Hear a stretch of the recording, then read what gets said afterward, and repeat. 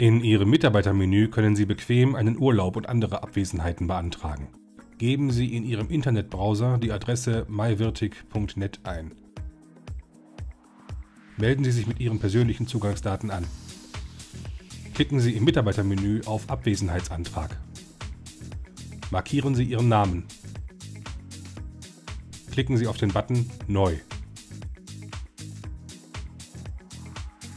Geben Sie nun den Abwesenheitsgrund ein, beispielsweise Erholungsurlaub, Sonderurlaub, Freizeitausgleich und so weiter.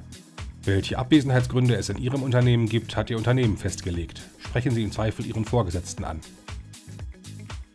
Tragen Sie unter Datum von den ersten Tag Ihrer Abwesenheit ein. Wenn Ihre Abwesenheit länger als einen Tag dauern soll, tragen Sie unter Datum bis den letzten Tag ein. Bei eintägigen Abwesenheiten können Sie dieses Feld leer lassen.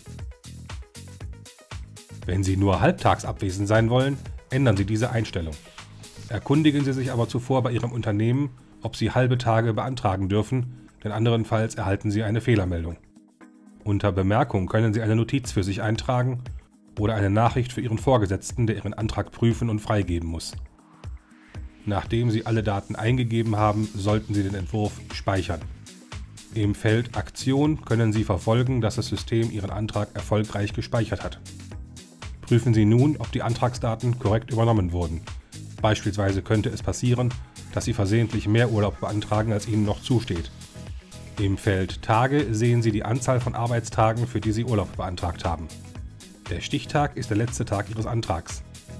Im Feld Stichtagsjahr sehen Sie Ihren Jahresanspruch. In Vortrag Vorjahr sehen Sie den Restanspruch, der aus dem Vorjahr übernommen wurde.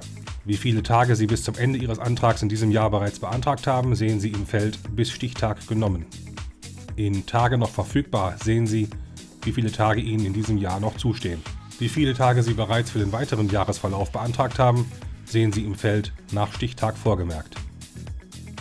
Wenn Sie etwas an Ihrem Antrag korrigieren möchten, ändern Sie die entsprechenden Daten und speichern Sie Ihren Entwurf erneut. Wenn Sie Ihren Antrag doch nicht absenden möchten, lassen Sie ihn einfach als Entwurf stehen. Vielleicht möchten Sie ihn zu einem späteren Zeitpunkt wieder aufgreifen. Löschen können Sie Ihren Entwurf nicht.